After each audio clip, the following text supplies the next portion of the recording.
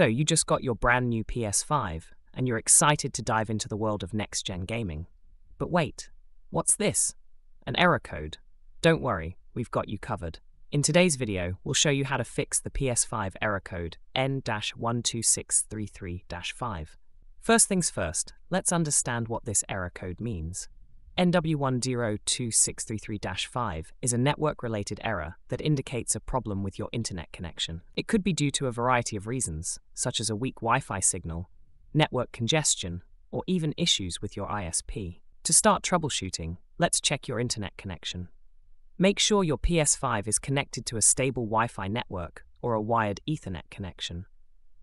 If you're using Wi-Fi, try moving your console closer to the router to improve the signal strength. If that doesn't work, let's power cycle your network equipment. Turn off your PS5, as well as your modem and router. Wait for about 30 seconds, then turn them back on. This will refresh your network connection and might resolve the issue. If the error persists, it's time to check for any firmware updates. Go to the Settings menu on your PS5 and select System Software Update. Make sure your console is running the latest firmware version if there's an update available, download and install it. Another thing you can try is changing your DNS settings.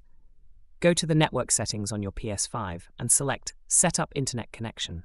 Choose either Wi Fi or LAN, depending on your connection type. When prompted, select Custom and then Automatic for IP address settings. For DNS settings, choose Manual and enter the following DNS addresses primary DNS 8.8.8.8 and secondary DNS 8.8.4. Save the settings and test your connection again. If none of these steps work, it's time to contact your internet service provider.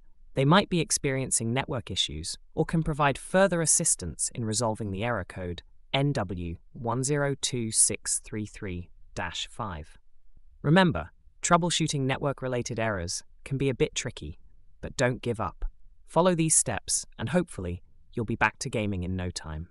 If you found this video helpful, don't forget to give it a thumbs up and subscribe to our channel for more tech related content.